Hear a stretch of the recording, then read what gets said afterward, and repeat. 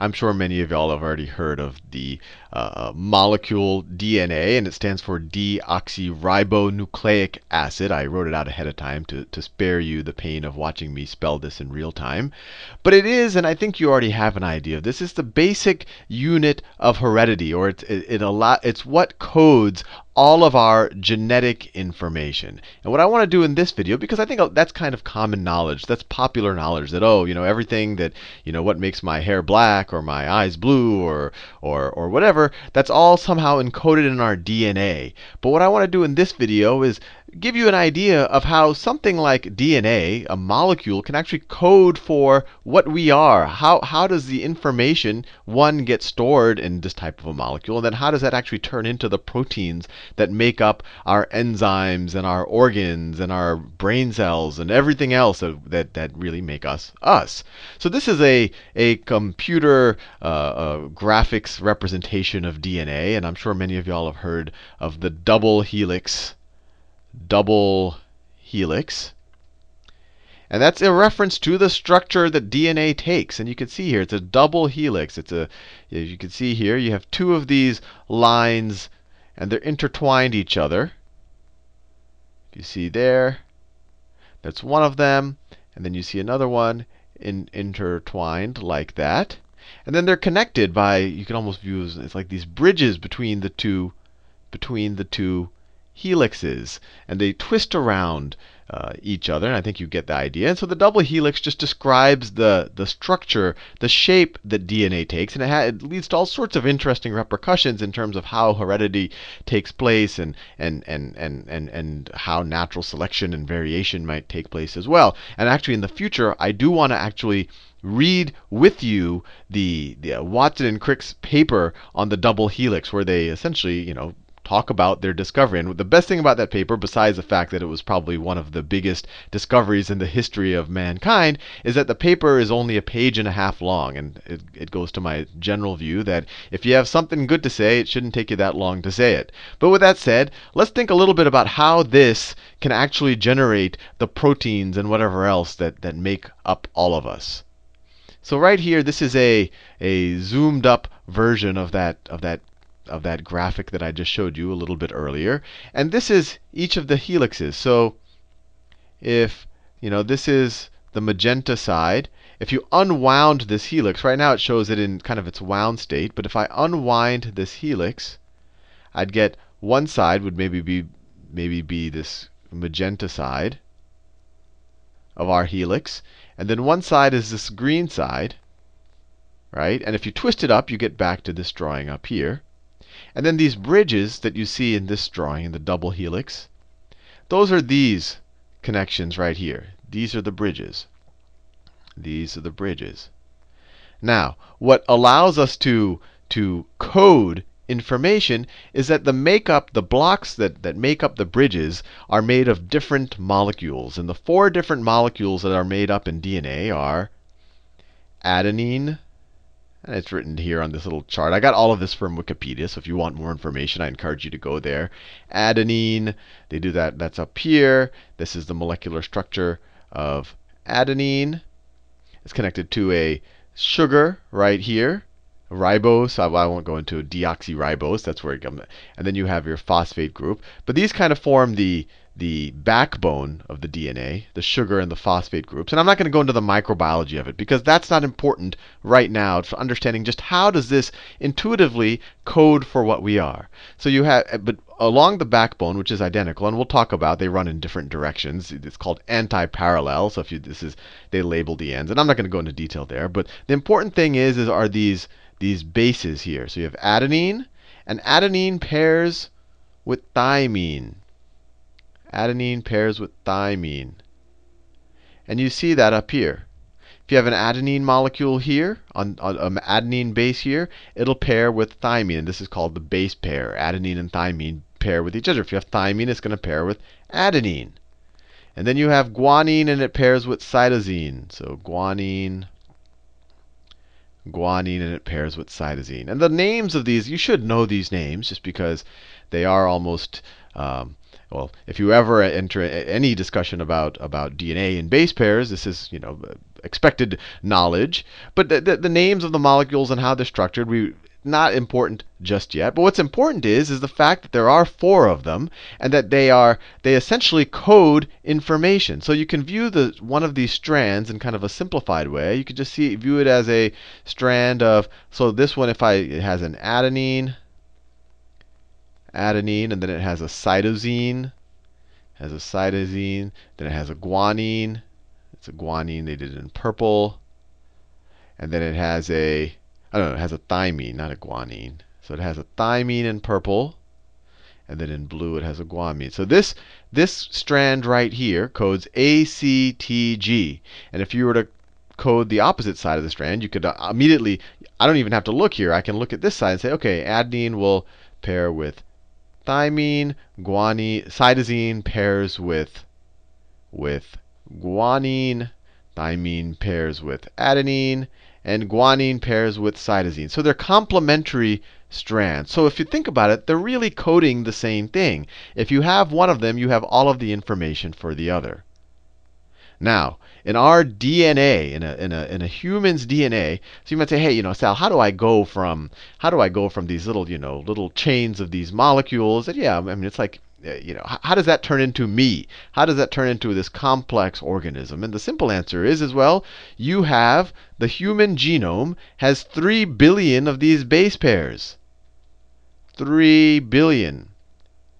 3 billion base pairs. And that's actually just in half of your chromosomes. And I'll tell you uh, maybe in this video or a future video why we only consider half of your chromosomes. And that's because uh, uh, essentially uh, all of you, have two pair, you have a pair of, of every chromosome. I'll, I'll, talk more in more detail about that. And this number, to some people, they might say, I'm only, it only takes 3 billion pieces of, you know, uh, 3 billion base pairs to describe who I am. And to some people would say, wow, I, it takes 3 billion base pairs to describe who I, I never thought I was that complex. So depending on your point of view, this is either a large or a small number.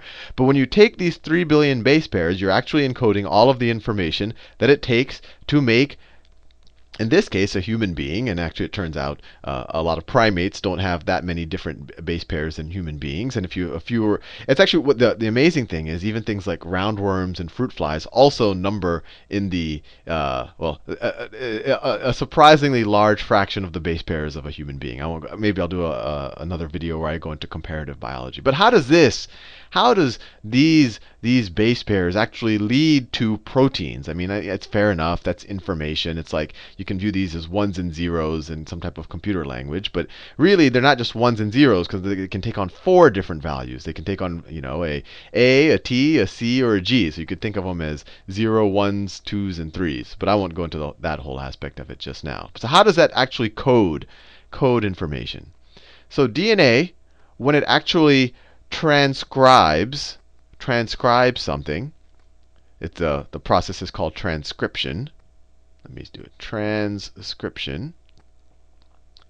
And I'm going to do a pretty gross simplification of it, but I think it'll give you the gist of how it codes for proteins. So what happens when transcription happens is that these two strands split up. And one of the strands, let me just take one of them. Let's say it looks like this. I'll do it all in one color. Let's say it's just A, T, G, G, A, C, G. I'm just making up stuff. T, A. Let's say that that's the strand that got split up. And what happens is it, it, it transcribes it, and I won't say uh, itself. There's there's a whole bunch of enzymes and proteins, and it's a you know a whole uh, bunch of chemical reactions that have to happen. But this DNA essentially transcribes a complementary mRNA. An mRNA, and I'll introduce RNA, that RNA, it's essentially the exact same thing as, well, the word is ribonucleic acid. So it's literally, you get rid of the deoxy, so you can kind of say it's got its oxy, and it's ribonucleic acid. But it's very similar to DNA. It codes in the exact same way. And the only difference between RNA, instead of a thymine, instead of a thymine, it has something called a uracil. A uracil. So every place where you would have expected a thymine, it'll have uh, you would have expected a T, you'll now see a U.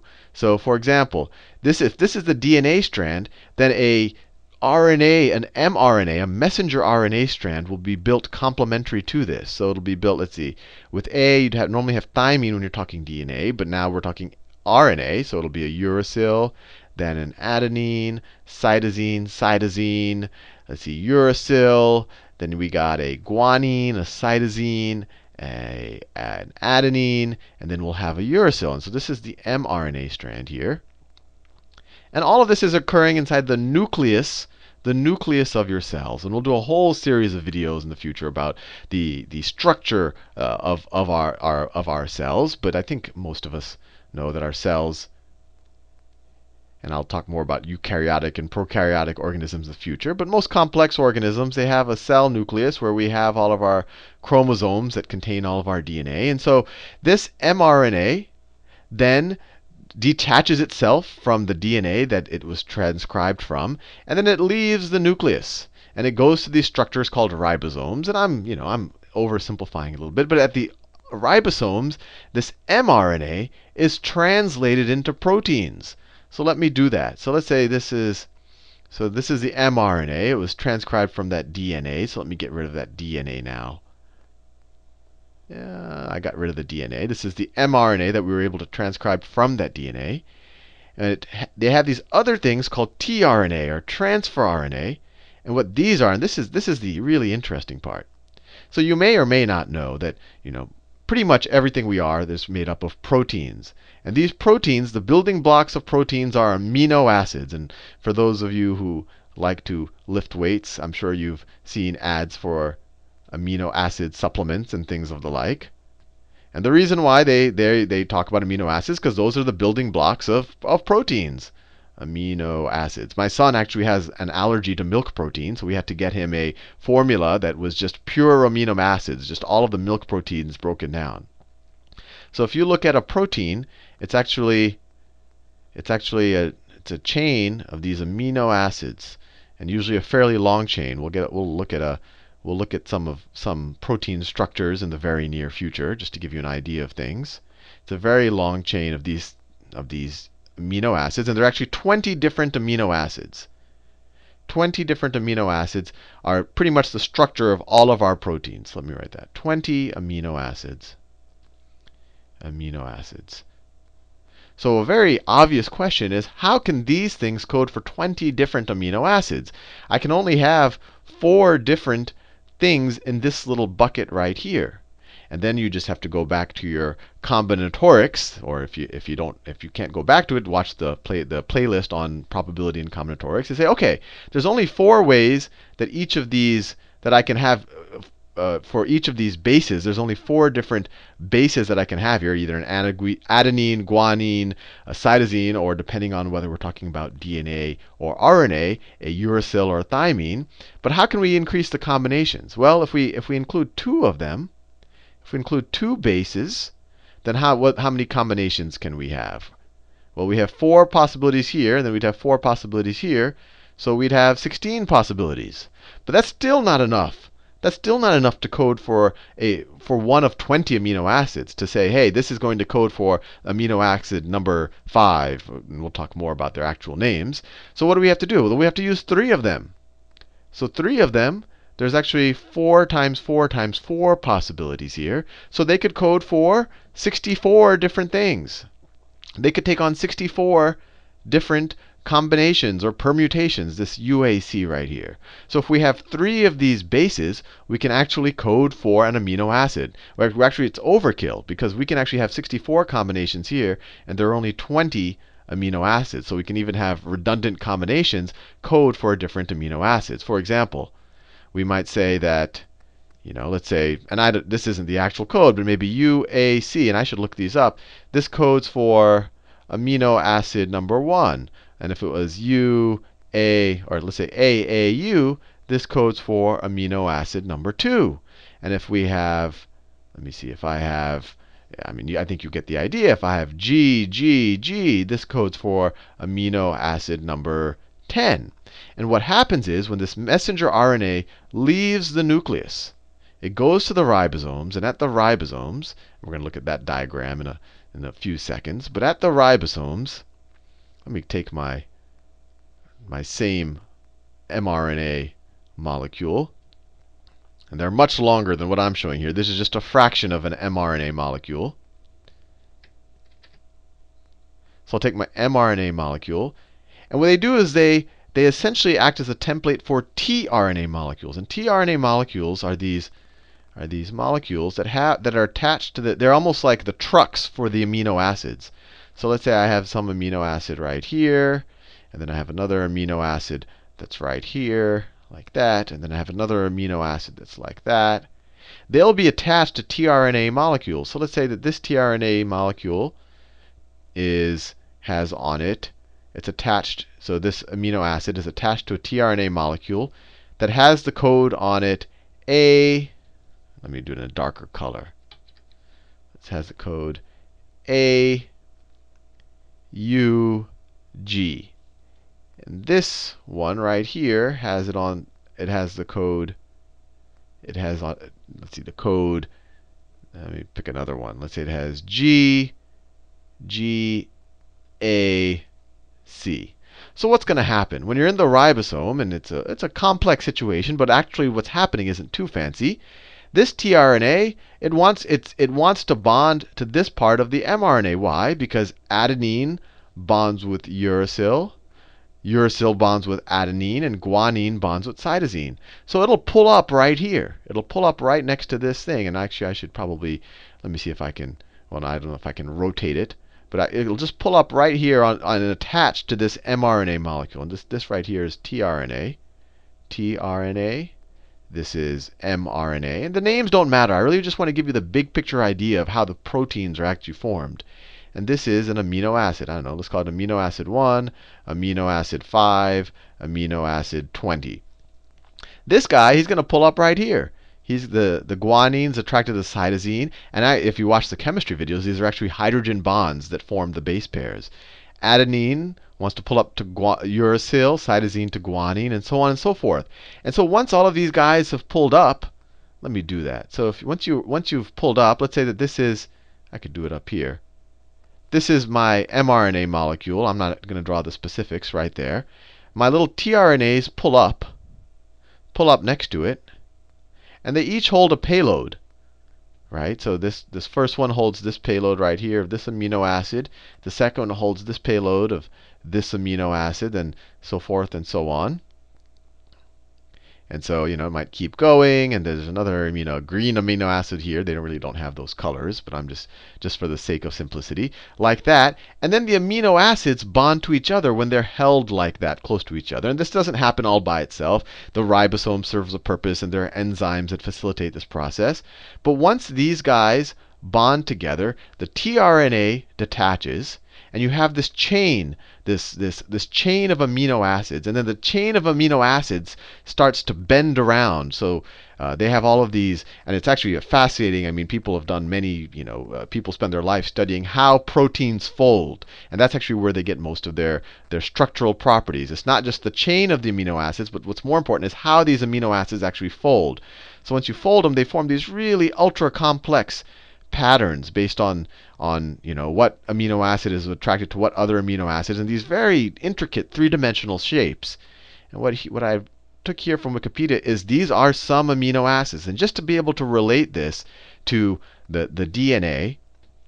This right here is insulin. It's key in, in our ability to process glucose in our body. So this right here is insulin. It's a hormone. So you know sometimes you hear people talking about your immune system. Sometimes you hear people talking about your endocrine system and hormones. Sometimes your digestive system. This is hemoglobin. You know the, the essentially the what what makes uh, uh, what essentially transports our oxygen in our blood. But all of these things are proteins, and all of these little little folds you see, these are all little amino. I mean, there's there's there's just little dots of amino acids, and this is just one. Well, some of these are multiple chains of amino acids kind of fitting together like a big puzzle, but some of them are just single chains of amino acids. For like insulin right here, this is 50 amino acids. And then once the chain forms, it all it all bundles together and forms this little this little blob like you see. But the shape of that blob is super important for insulin being able to perform the function that it needs to perform in our in our in our systems. But this right here is 50 approximately 50, I forgot the exact number, amino acids amino acids. This right here, this immunoglobulin, immunoglobulin G, which is part of our immune system, this is roughly 1,500. 1,500 amino acids. Amino acids. So how much DNA or how many base pairs have to code for this? Well, three times as much, right? Because it took, you have to have three base pairs that code for one amino acid. And actually, three base pairs, this is called a codon. Codon. Because it codes for amino acids. So three base pairs make a codon. So if you have 50 amino acids that make up insulin, that means you're going to have to have 50 codons, which means you have to have 150, 150 bases which, or 150 of these A's and G's and T's. If you have 1,500 amino acids, that means you're going to have to have 1,500 codons, which means you're going to have roughly 4,500 4,500 of these base pairs that code for it.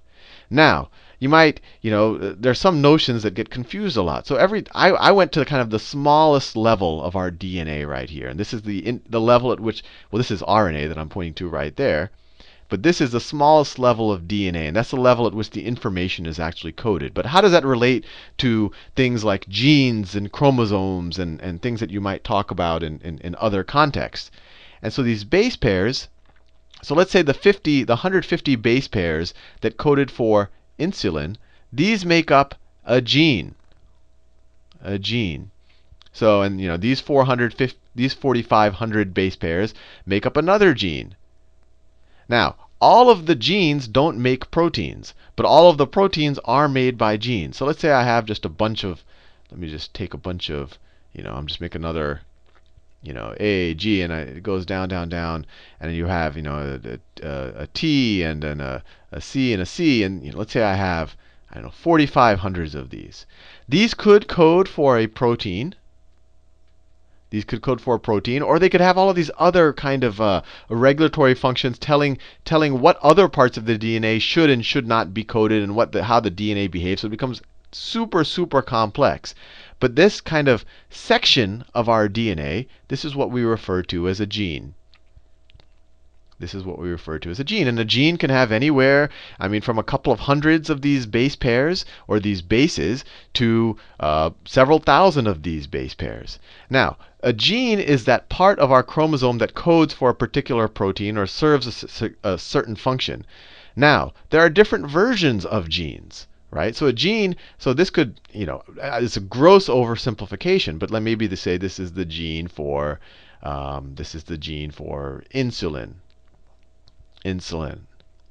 Now, there might be, you know, slight variations in how insulin can be coded for, and I'm kind of going out of my domain right here because I don't know if that's true. And maybe I shouldn't just speak specifically about insulin, but it's coding for some protein, but there's maybe multiple different ways that that protein can be coded. Maybe instead of a T here, sometimes there's a C there. It still codes for the same protein. It doesn't change it quite enough, but it, that protein acts just a little bit different. It introduces, it has a little bit of, it's, it's a, a slight variant. I'll use that word. Now, each variant of this gene is called an allele. Allele is a specific, specific variant, specific variant of, of, of your gene, variant of your gene. Now, if you take up, if you, you know, you take these, this this this DNA chain, and you know this this chain over here. Let's see, this is one base pair, and just so kind of you know, this might be like one base. This is another base. This is maybe this is an adenine, and then this would be a thymine over here in green. This is an adenine. This would be a thymine. If this is a, you know, if if right here this is a guanine, then right here would be a cytosine. This would be just a very small section. If I were to like zoom out, right, and let's say we have a, a big chain of DNA where each of these little dots are a base pair that I'm drawing here. Maybe this section codes for gene 1 gene 1 maybe and then there's some noise or things that we haven't fully understood yet and i want to be clear just with this simple discussion of DNA, we're already kind of approaching the frontiers of what we know and what we don't know because there's uh, the, DNA is hugely complex and there's all of these feedback structures and certain genes tell you to code for other genes and not to code for other genes and to code under certain circumstances. So it's hugely complex. So there's huge sections of DNA that we still don't understand what exactly they do. But then maybe they'll have another section here that codes for gene 2. Maybe gene 2 is a little bit longer. Maybe it's a thousand base pairs. But when you take all of these and you turn it into a, and then it, it, it kind of winds in on itself like this. Let me do it. So it'll wind up winding in on itself like this and do all sorts of crazy things. Remember, this is the whole, you know, it, it completely bundles itself up, and then it looks something like that. Then you get a chromosome. A chromosome. And just to get an idea of how large a chromosome is compared to compared to the actual base pairs, chromosome number 1 in the human genome. So we have 23 pairs. If you look at it inside of a nucleus, so let's say that's the nucleus. Let's say this is the cell. The cell is much bigger than what I'm showing. But we have 23 pairs of chromosomes. We have 23 pairs of chromosomes. One, two, I won't do all of them. And you can actually see chromosomes in a, in a not too expensive microscope. So we're already getting to a scale that we can start to look at. But the largest chromosome, which is chromosome number 1 in the human genome, just to give an idea of how much information it's packing, that thing right there has 220 million base pairs. So when we're talking about, you know, sometimes people talk about chromosomes and genetics and genes and base pairs interchangeably, but it's very important to kind of get an idea of scale. These chromosomes are a super long strand of DNA that's all configured and bundled up, and it contains 220 million base pairs. So the actual elements that are coding for the information are unbelievably small relative relative to the chromosome itself. But now that we understand a little bit, and actually I want to take a look back at this because this is what, you know, this kind of blows my mind that if you just take our those little combinations of those amino acids, you can form these very intricate, very advanced structures that we're still fully understanding how they actually in, uh, interact with each other and regulate how our, our all of our biological processes work. And what's even more amazing is that this this scheme that I've talked about in this video about DNA to mRNA to tRNA to these molecules this is true for all of life on our planet. So we all share the same mechanism. You know, me and this plant, we're distant. We, we, we share that common root of that we all have DNA. As different as we, me and that you know roach that I might not like to be in the same. We all share that same common root of DNA, and that all of it codes to proteins in this exact same way. That there's this commonality amongst all life. That to me is mind blowing. And even more mind blowing is how these very complex shapes are formed formed by this, you know, uh, by the DNA. And this isn't speculation. This is, I mean, you could this this is observed uh, behavior. That these very, I mean, this is a fascinating structure right here, but it's just based on 20 amino acid. You can almost view the amino acid as a, as the Legos, and and you put the Legos together, and just the chemical interactions form these these fairly impressive uh, structures right here. So now that we know a little bit about DNA and how it codes into protein, we can jump, take a little jump back and, and talk a little bit more and, uh, about how variation is actually introduced into a population.